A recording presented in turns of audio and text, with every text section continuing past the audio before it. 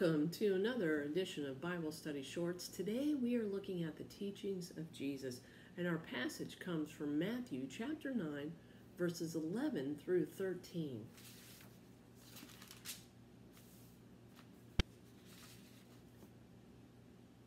When the Pharisees saw this, they asked the disciples, Why does your teacher eat with tax collectors and sinners?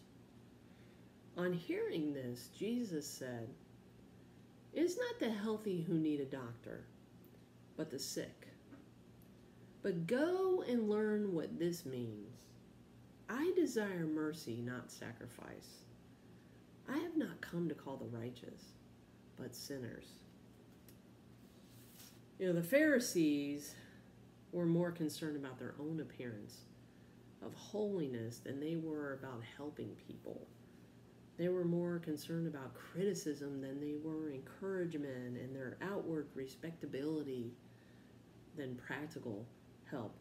You know, the sick need a doctor, and Jesus healed them, and likewise the sinful need mercy, forgiveness, restoration, and Jesus healed them. God's more concerned for all people, including the sinful and the hurting, you and me. And those who are self righteous, they don't recognize their need for salvation, but admitted sinners do. Is there an example for me to follow in the above teaching of Jesus Christ? You bet. Number one, recognize that we are all sinners in need of a Savior. Number two, acknowledge and admit that we don't have all the answers.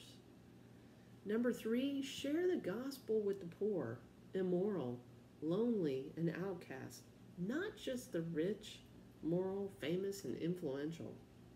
And lastly, don't isolate yourself from a broken world, but extend God's love to others.